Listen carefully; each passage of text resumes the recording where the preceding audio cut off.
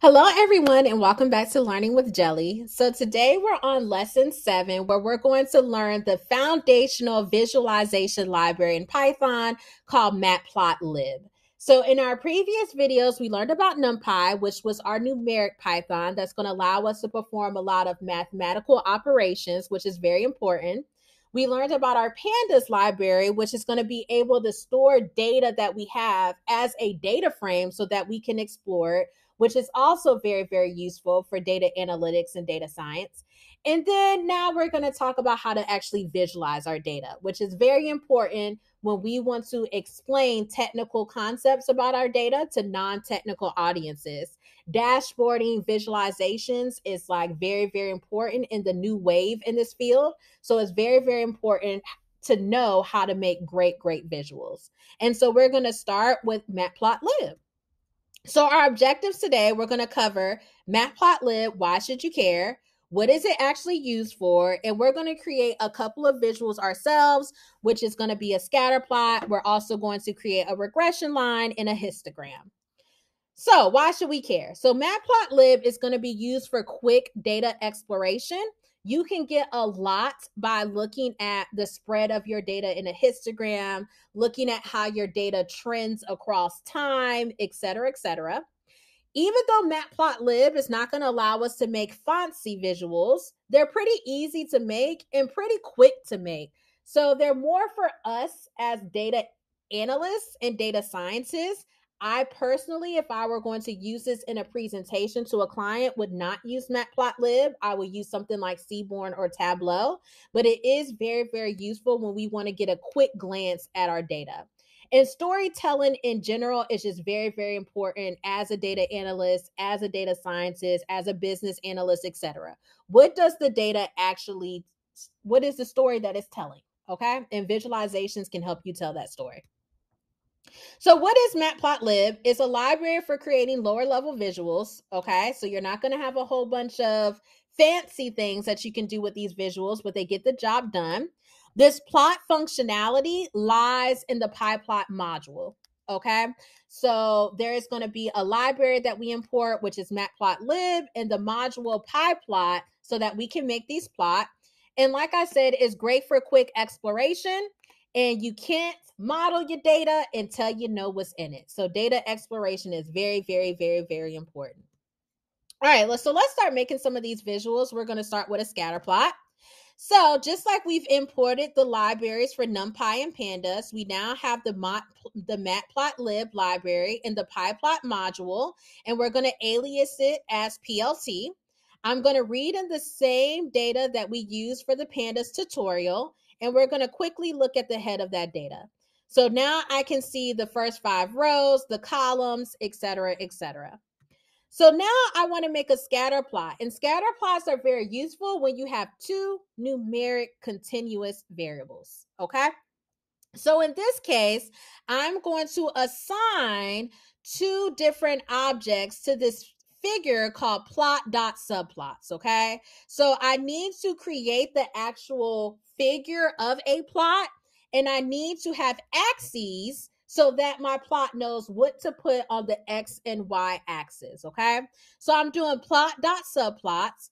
This fig size equals 10 by 10 is optional. It's just going to show you, it's just going to tell you how big you want the plot to appear on your screen. So we're going to play around with that momentarily. And then I want to assign the two different variables, numeric variables that I want to plot. So I'm going to call the data frame. So data frame and in brackets, I'm going to pull out the square feet living column. And then I'm going to pull out the price column. And I want square feet living to be on my x axis and the price to be on my y axis. Then on my axis object that I have up here, I'm going to call the type of plot I want. So that's going to be dot scatter. That could be dot bar, that could be dot hist, etc. There's tons of documentation online for matplotlib, but we want a scatter plot in this case. And then I'm going to run in the X and Y that I assigned. So I want square feet living on my X axis, price on my Y. I'm going to change it from scientific notation to just regular plain numbers. So I'm calling that my axis just have a plain regular number. And then I need to show the plot. So I'm going to do this dot show. Okay, so when I run this, I get a visual here. I get my price on my y axis and I get my square foot living on my x axis. And I see as my square foot living increases, it looks like that it can be a slight increase in price. So there's like a positive correlation here. Now, the outliers could be influencing that correlation. We're going to talk about outliers in another video, but now I can see how these two numeric variables are related. So say for instance, I want to make this image smaller on my screen in my Jupyter notebook. I can change the fig size to five by five, and that's what it does. It makes it smaller. Okay, so that's all that that fig size parameter does. So that is our first scatter plot. Like I said, nothing too fancy, no titles or anything yet. We're just getting quick, straight to the point. How does this numeric variable associate with another numeric variable? Okay, so outside of this scatter plot, I can add a regression line, right? Which is going to tell me the slope pretty much of my data and how does sale square feet living relate to sale price, okay? So I'm going to have these objects M and B and I'm going to call numpy again dot polyfit. I'm going to pass in my X variable, which is square feet living, pass in my Y variable, okay? And then I'm going to do dot plot. I'm going to plot my X, the regression line formula, which is Y equals MX plus B. So that's going back to algebra. I'm going to make that line red, and this is still taking it out of scientific notation, okay? So for my regression line, I get this nice sign, this nice regression line that looks like it's a positive correlation. Now, keep in mind that this regression line could be heightened because of outliers okay? But we know that it would have an overall positive correlation. This regression line is also stopping at 3.5 million, which this is stopping at 8 million. Okay, so all of those things we need to consider as data analysts and data scientists. But if you want to do a regression line, this is how you would do one. Okay, so those are the first two visuals. Now let's talk about a histogram, which I think is one of the most popular things to do because histograms let you get the spread of a single column. So when you're interested in a single numeric continuous variable, you want to see if it's skewed to the left, skewed to the right, etc. A histogram is going to be that. So I only need one X and we're going to look at square feet living. Now I'm going to add some more functionality. So the dot title, I'm going to add a title. The X label, I'm going to add the X label and the Y label, I'm going to add as well. And here I get my histogram, right? Where I see that it's skewed to the right. So it's always where the tail is. So the tail is on the right side. And I see most of the houses in my data set have a square foot living of about 100 square feet to 2,500 square feet. That's the bulk of my data.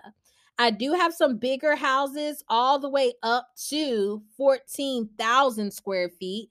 But I see here that I have a few that's 8,000 square feet. But most of the houses in my data set are smaller homes. I have my labels and I have my chart. Okay. So that is a histogram. And there are tons of other visuals you can do bar charts, pie charts, etc.